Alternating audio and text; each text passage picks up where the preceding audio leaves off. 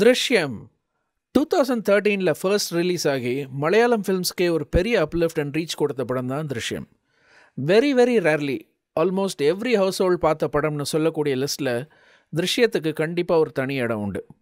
George குட்டியை இனிமேல் யாராலையும் மறக்க முடியாத அளவுக்கு திருஷ்யம் டூலையும் கிளவரான இன்னொரு ஸ்கிரிப்டை ரொம்ப கேர் எடுத்து சீக்குவல் தானேன்னு இல்லாமல் ஒவ்வொரு சீனுக்கும் படத்தில் வேல்யூ இருக்க மாதிரி ப்ரெசன்ட் செஞ்ச ஜீத்து ஜோசப் அவர்களுக்கு மிகப்பெரிய ஹேட்ஸ் ஆஃப் சீக்குவல்னு கேட்ட உடனே ஆஹா தங்க முட்டையிடுற வார்த்தை இனிமேல் நம்ம தலையில் எதையாவது மிளகா அரைச்சு காசு பண்ண போகிறாங்கன்னு தான் எல்லாருக்கும் தோணி இருக்கும்னு நினைக்கிறேன். பட் இப்படி தான் சீக்குவல் எடுக்கணும்னு கம்ப்ளீட் சீக்வல் மெத்தையும் பிரேக் செஞ்சதுக்கு again Jeethu Joseph deserves to be applauded and celebrated. ஒரு பெஸ்ட் ஃப்ரெண்டை ரொம்ப நாள் சந்திக்கலைனாலும் பார்த்த உடனே எந்தவித கேப்பையும் ஃபீல் பண்ண முடியாத அளவுக்கு அந்த பாண்டிங்கே கவர் செஞ்சிடும். திருஷ்யம்க்கு அந்த மாதிரியான பாண்டிங்னு தான் சொல்லணும்.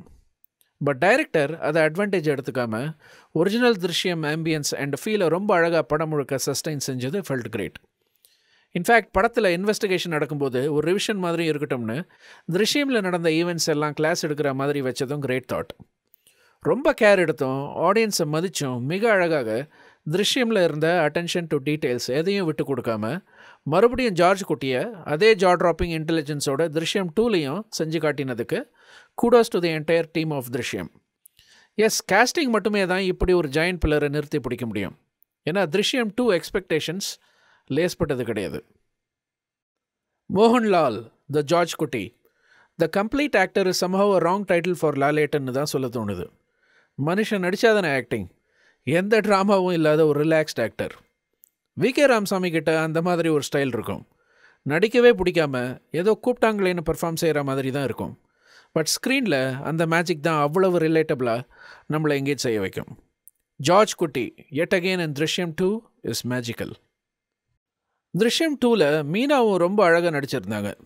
நியூ ஆடிஷன்னு பார்த்தா Murali Gopi was fabulous first பார்ட்டில் ஆஷா ஷரத் மிரட்டி இருந்தாங்க. இதில் Murali Gopi took over as a inspector general and did a wonderful job I am sure Murali Gopi is here to stay and I wish to see him in many more solid roles இதுலேயும் ஆஷா ஷரத் இருக்காங்க.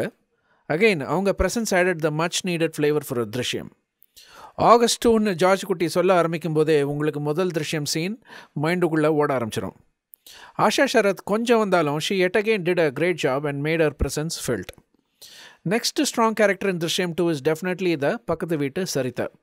அவங்க acting and makeup transformation ரெண்டுமே was fantastic மற்றபடி எல்லா ஆக்டர்ஸுமே நீட்டாக அவங்கவுங்க role லிமிட்டேஷன்ஸ்குள்ளே ரொம்ப அழகாக செஞ்சுருந்தாங்க. சரி திருஷ்யம் டூவில் லாஜிக் அண்ட் லூப் ஹோல்ஸ் இல்லையானா? இருக்குது பட் அங்கே தான் ஜீத்து ஜோசஃபோட ப்ரில்லியன்ஸ் அண்ட் ரைட்டிங்கும் இருக்குது நம்ம ஒயின் ஒரு கேள்வி கேட்டால் ஒய் நாட்னு ஜீத்து ஜோசப் பதில் கேள்வி கேட்குற மாதிரியான ரைட்டிங்னு தான் சொல்லணும். Drishyam is about a movie lover and அதுக்குள்ளேயே ஒரு மூவி மேக்கிங் ஆங்கிள் ஒன்று கொண்டு வந்து அதுக்குள்ளே வரும் connect the dots screenplay magic is what makes Drishyam the brand so special இருந்த ஒரே ஒரு விட்னஸும் ஆறு வருஷம் ஜெயில் போயிட்டான்.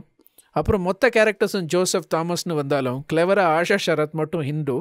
ஸோ பையனோட அஸ்திக்கு அவங்களோட சர்ச் அதை ஹெல்ப் செய்கிற ஒரு ஃபாரன்சிக் ஆஃபீஸ் சப்போர்ட் அப்புறம் யாருமே அந்த திருஷ்யம் பூக்க படிக்கவே இல்லைன்னு அழகாக சினிமேட்டிக் லிபர்ட்டிஸ் எடுத்து ரொம்ப கொஷனபுளாக இல்லாமல் ரைட்டிங்கில் பியூட்டிஃபுல்லாக கவர் செஞ்சிட்டார் Jeethu Joseph.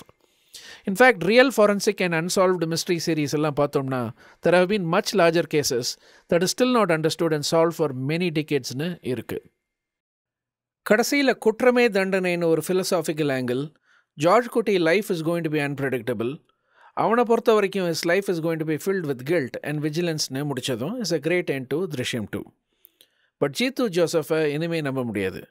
மனுஷன் இன்னும் எத்தனை குட்டி ஜார்ஜ் குட்டியை வச்சு போட போகிறாருன்னு பொறுத்து இருந்து தான் பார்க்கணும். எத்தனை குட்டி போட்டாலும் தாங்கி பிடிக்கக்கூடிய கிளாசிக் ஆக்டர் தான் மோகன்லால். கமல்ஹாசன் அவர்களுக்கு மட்டும் ஸ்லைட்டாக கோவம் வந்து இருக்கும்னு நினைக்கிறேன்.